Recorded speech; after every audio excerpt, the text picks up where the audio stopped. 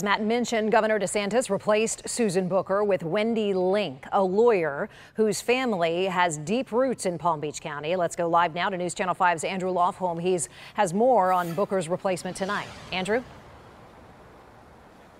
Now, Wendy Link comes from the private sector. She's attorney. She's an attorney here locally in West Palm Beach, focusing among other things on commercial real estate. She also holds board positions in Palm Beach County and all across the state, including on the board of governors for the state's university system.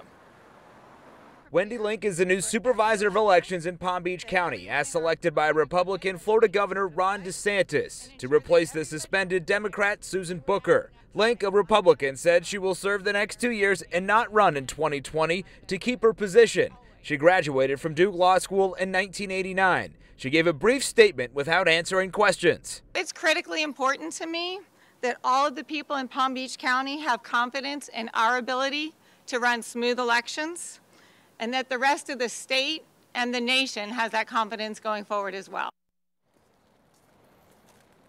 Now, we are set to sit down with Link one-on-one tonight to ask her what she would have done differently from Bucher and what her plan is moving forward. Of course, her first test is going to come on March 12th when the next election is here in Palm Beach County. We're live in West Palm Beach. Andrew Lofholm, WPTV, News Channel 5.